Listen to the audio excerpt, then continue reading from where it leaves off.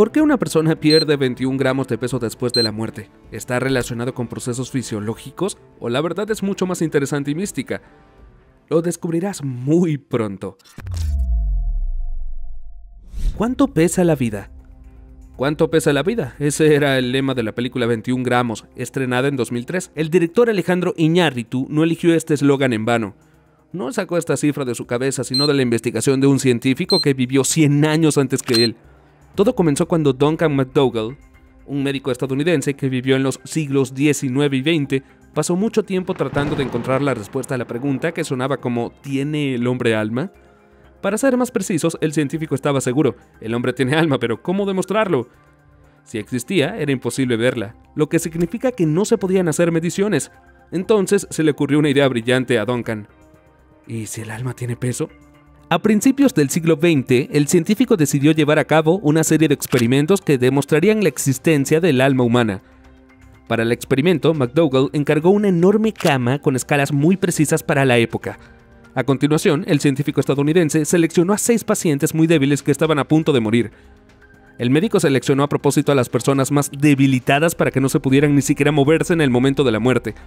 Y así los resultados de las balanzas serían los más precisos. Uno por uno, los pacientes fueron colocados en la cama con las balanzas. Duncan observó a los pacientes de cerca y registró el momento de su muerte. Duncan aseguró que los pacientes no hacían ningún movimiento y que su peso cambiaba inmediatamente después de la muerte. McDougall llegó a la conclusión de que su experimento demostraría que las personas tenían un alma y que ésta pesaba exactamente 21 gramos o 3 cuartos de onza. Duncan estaba tan entusiasmado con el experimento que lo repitió con 15 perros más. Sin embargo, no tuvieron ningún cambio de peso en el momento de la muerte. Según el propio Duncan, esto no hizo sino confirmar la autenticidad de su experimento, ya que en aquella época se creía que los perros no tenían alma. En consecuencia, el experimento de McDougall tuvo éxito dos veces. Más tarde, el científico publicó los resultados del estudio en revistas científicas y The New York Times escribió sobre ello. Aunque el experimento del peso del alma de McDougall impresionó a muchas personas y sigue impresionándolas hasta hoy, muchos escépticos no están de acuerdo con él, pues creen que el experimento tenía muchas incoherencias, desde la incapacidad de establecer el momento más preciso de la muerte hasta el reducido número de sujetos de prueba. Están en su derecho de pensar así, pero Duncan estaba seguro el alma existe y algo le sucede después de la muerte. Pero ¿qué le ocurre exactamente? ¿Qué le ocurre a una persona después de la muerte? Por supuesto, nadie lo sabe con certeza, pero hay muchas teorías interesantes. En el budismo, el hinduismo, el jainismo y el sijismo creen que nada termina después de la muerte y que el alma se reencarna, lo que significa que pasa un nuevo cuerpo y luego comienza una nueva vida. La reencarnación es una de las teorías más comunes sobre la vida después de la muerte. Esta teoría está respaldada no solo por las religiones indias, sino también por muchas tribus e incluso por los antiguos filósofos griegos. La reencarnación puede ser la respuesta a la pregunta de qué nos pasa después de la muerte. La historia conoce a bastantes personas que aparentemente empezaron la vida con una pizarra limpia. Por ejemplo, es muy interesante la historia de Shanti Devi, una niña de Delhi que empezó a recordar su vida pasada a los cuatro años, contándoselo todo a sus padres con un detalle aterrador es muy posible que después de la muerte todo vuelva a empezar y que este ciclo no se detenga nunca, ni siquiera no sé si eso es bueno o malo. Por cierto, escribe en los comentarios, ¿quién crees que fuiste en una vida pasada? Se extiende en el cosmos. Mucha gente no está de acuerdo con la idea de la reencarnación y dice que no hay nada después de la muerte. Una persona solo muere, eso es todo. Pero el anestesista estadounidense Stuart Hanford no está de acuerdo. Cree que después de la muerte una persona se convierte en parte del universo en el sentido más literal. Hace unos 10 años, en la emisión de uno de los programas, el científico estadounidense dijo que las almas humanas se crean a partir de algún material mucho más fundamental que las neuronas del propio tejido del universo. Cree que la conciencia siempre ha existido en el universo y que podría haber existido desde el principio de los tiempos, es decir, desde el Big Bang. El anestesista cree que cuando una persona muere y su cuerpo se destruye, la información cuántica contenida en las estructuras intracelulares de las proteínas no se destruye, sino que se extiende por todo el cosmos. Stuart cree que esta es la razón por la que las personas en estado de muerte clínica experimentan experiencias cercanas a la muerte. Por ejemplo, ven una luz brillante o sienten que vuelan a través de algún tipo de túnel. Cuando los médicos les devuelven a la vida, esta información cuántica que ha estado en el cosmos vuelve al cuerpo, y por eso la persona recuerda esa experiencia inusual. Algunos colegas de Stuart critican su teoría, pero el científico señala que hasta ahora no han podido refutarla. El compatriota de Stuart y colega de la Universidad de Carolina del Norte, Robert Lance, también cree que la muerte está directamente relacionada con la física cuántica. Sin embargo, el profesor Lance no cree que el alma en forma de cuántica viaje al cosmos después de la muerte. Cree que la muerte es una ilusión en su totalidad. Lance es partidario de la teoría del biocentrismo, según la cual la muerte es un engaño creado por nuestra imaginación. Todas las personas, según Lance, creen en la llegada de la muerte porque les han enseñado a hacerlo, o porque en la mente humana la vida está asociada al trabajo de los órganos internos. Sin embargo, la teoría del biocentrismo explica que la muerte no es en absoluto lo que la gente está acostumbrada a entender.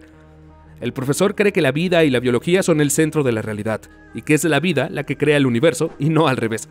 Esto significa que la forma y el tamaño de los objetos que existen en el universo están determinados por la conciencia humana. Desde la perspectiva de la teoría del biocentrismo, el espacio y el tiempo son simples herramientas de nuestra mente. Aceptar esta teoría ayudaría a los humanos a entender que la muerte no existe. Los físicos teóricos también suponen la existencia de un número infinito de universos en los que las situaciones ocurren simultáneamente y en los que hay diferentes variaciones de personas. Lance explica que todo lo que se supone que ocurre sucede en algún momento entre todos estos universos, y esto sugiere que la muerte no puede existir. Matemática. La ausencia o presencia de vida después de la muerte puede explicarse no solo por la física cuántica, sino también por las matemáticas. A esta conclusión llegó hace varios años Yuri Berland, estudiante de la Universidad Federal de los Urales. En 2015, dedujo la fórmula según la cual la vida es una función del tiempo, y la muerte es el límite de esta función cuando el tiempo tiende al infinito. Tras realizar los cálculos, el estudiante llegó a la conclusión de que la solución de la fórmula es finita y que después de la muerte nos espera una percepción clara y definida del mundo. Esto, dijo, demuestra que la vida después de la muerte existe. Sin embargo, matemáticos más experimentados criticaron la fórmula del estudiante y también señalaron varios errores en sus cálculos.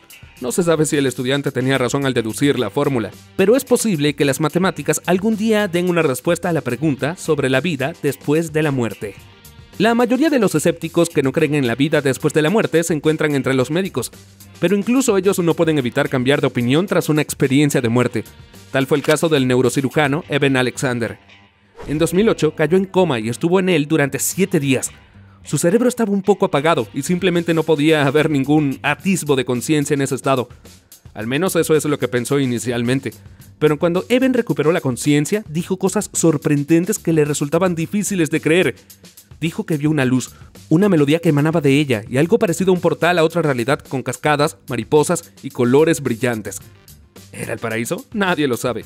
Tal vez era donde Evan había ido mientras duraba su muerte clínica, o tal vez era otra cosa. El neurocirujano incluso escribió un libro basado en su experiencia, Proof of Haven, el viaje de un neurocirujano al más allá. Conciencia. El profesor Sam Parnia dedicó muchos años al estudio de la reanimación cardiopulmonar y la muerte clínica el profesor llegó a la conclusión de que después de la muerte, nuestra conciencia sigue viviendo durante algún tiempo. Sam realizó un experimento en el que se examinaron más de 2.000 pacientes de tres países. En primer lugar, estudiaron a personas que habían sufrido una parada cardíaca.